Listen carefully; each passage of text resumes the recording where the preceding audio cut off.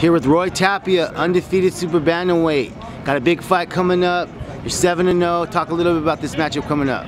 Uh, this fight, uh, well, I'm fighting Sergio Najera. He's a guy with a pretty good experience. You know, he is uh, 5 and 11 with a couple draws. He's from Mexico. You know, I know he, he hasn't been stopped too many times out of his 11 uh, losses. So I know he's gonna come and bring it. And uh, what kind of, well, I mean, besides everything else, man, you know, I'm ready. I, I put in all the work. I work really hard you know, I never stopped since my last fight, so you know, I'm here, I'm, I'm still ready, and we're gonna do it. Now, you like to let your hands go. You're a crowd pleasing style. I've seen you fight many times, and uh, is it fair to say you're gonna be letting them go again?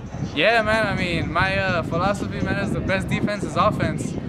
So if you don't want to get hit, man, you better hit the other guy. So I'm gonna go out and just look to move my head a lot and throw a lot of punches and a lot rip the body as much as I could. Now you're from you're, you're from SoCal. Are you gonna have a lot of fans here? Yeah, man. I'm a pretty, pretty uh, I might have the biggest crowd here that I haven't that I've had a, any of my fights this far yet. How, so. how excited are you about that? Oh man, I'm really excited. That's why that's what drove me, you know, to, to train so hard and to push for it. You know what I mean? Because right. I want to put on a great show for all my people.